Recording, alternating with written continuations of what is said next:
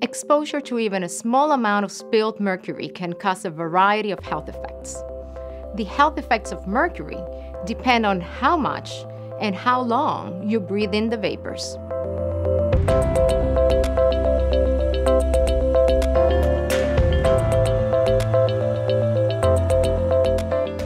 Elemental mercury is spilled or a device containing mercury breaks, the spilled mercury will produce an invisible, odorless vapor that can make you sick. When mercury is heated or dispersed into tiny beads, it will vaporize very quickly and can be more dangerous. Exposure can last a long time if the spilled mercury is not cleaned up promptly and thoroughly.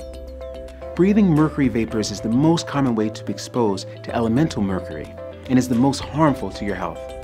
Very little mercury is absorbed from touching it. However, getting mercury on your skin or clothing increases the likelihood of spreading it and of inhaling vapors coming off of mercury stuck to your clothing.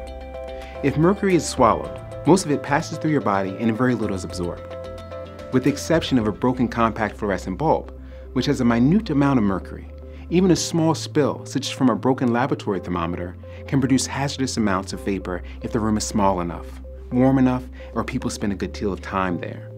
For most spills that are identified and cleaned up quickly, most people will be exposed to low levels of mercury vapor for only a short period of time.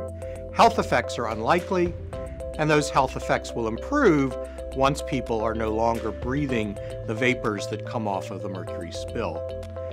Health problems usually result from either long-term, low-level, or short-term, high-level mercury exposures.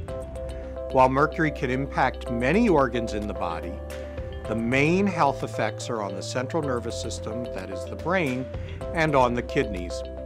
Health effects on the central nervous system include feeling anxious, acting shy, not sleeping well, loss of appetite, and feeling irritable.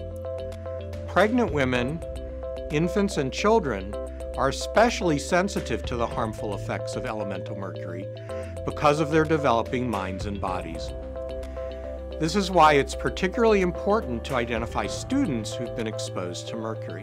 In the cases of very high exposures, individuals may require testing for mercury levels in their body and medical care. But most spills that typically occur at schools, especially ones detected early and cleaned up properly, lead to short-term, low-level exposures that don't require testing or any medical treatment.